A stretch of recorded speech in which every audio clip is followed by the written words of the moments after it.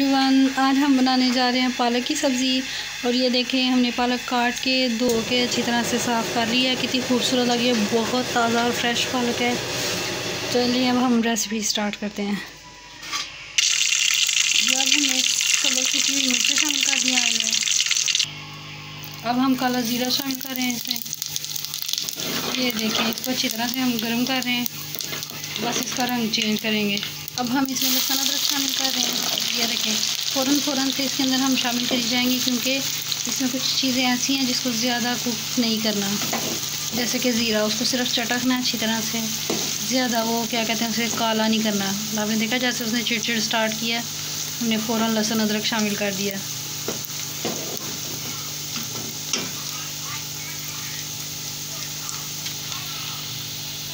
अब हम लहसुन अदरक को थोड़ा सा ब्राउन नहीं करेंगे, बस इसके अंदर से कच्चापन ख़त्म करेंगे। अब हम लहसुन, इसमें प्याज शामिल कर देंगे, हमने काट के रखे हुए हैं।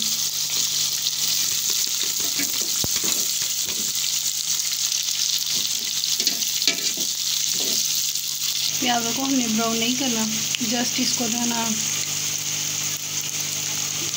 पकाना है। लेकिन क्या है ब्राउन नहीं करेंगे हम। देखिए, माशाल्लाह बहुत खूबसूरत और aroma you can not imagine even if you cook और try this recipe then you can imagine the aroma of this बहुत अच्छी खुशबू आ रही है।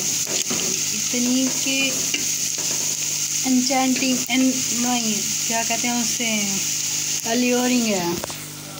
इतनी अच्छी खुशबू आ रही है। बहुत जो है ना इसका अच्छा टेस्ट आता है। मुझे बहुत पसंद है, इसलिए मैं बार बार बनाती हूँ। अब हम इसमें आलू शामिल कर रहे हैं। ये देखें, ये हमारी आलू पालक का, आलू पालक का सबसे पहला इंग्रेडिएंट आलू गया है, सब्ज़ी में। मसालों में तो बहुत कुछ जा चुका है। स्पाइसेस अभी बाकी हैं, उनका ड्यूरेशन स्टार्ट ही नहीं हुआ। प्याज हमने जितना करना था, हो गया था।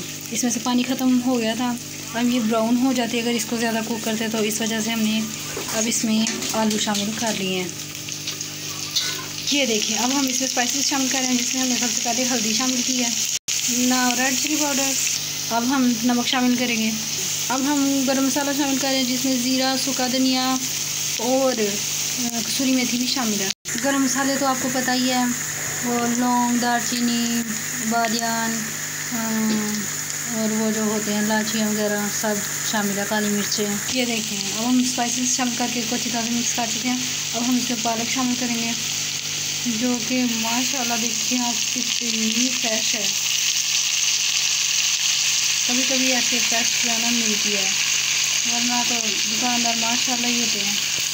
अपनी दुकानदारी दिखा जाते हैं।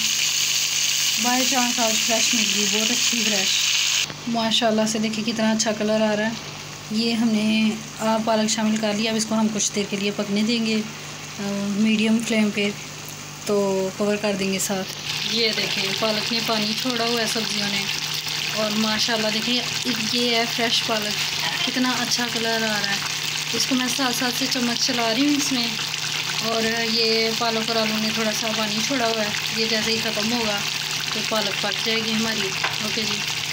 मैं फिर आपको दिखाती हूँ इसकी फाइनल ये देखिए ये कितनी सी रह गई है, अभी ये पक रही है। इसने और कुक होना है क्योंकि अभी बबल्स आप देख सकते हैं, इसके अंदर पानी के हैं ये मैंने हिला के आपको दिखाई है। तो ये भी और पकेगी मज़ीद। फिर ये जब पक जाएगी, इसके अंदर से बबल आपको पता है वेजिटेबल में पानी होता है काफ़ी, और ये तो बहुत फ्रेश थी पालक। तो इसमें तो वाकई बहुत सारा पानी इसने छोड़ा था। अब ये ख़त्म होगा तो एक ऑयल ऊपर आ जाएगा तो ये पक जाएगी। बस इसकी अब कुकिंग ही रह गई है। ये देखें, हमारी आलू पालक बन के तैयार हो गई है। माशाल्लाह से बहुत टेस्टी बनी है। ओके जी, अल्लाह हाफिज़। आज के वीडियो के साथ हमारे चैनल को सब्सक्राइब कीजिए और वीडियो को लाइक एंड शेयर कीजिए। और कोई सवाल हो तो कमेंट कर सकते हैं आप। अल्लाह हाफिज़।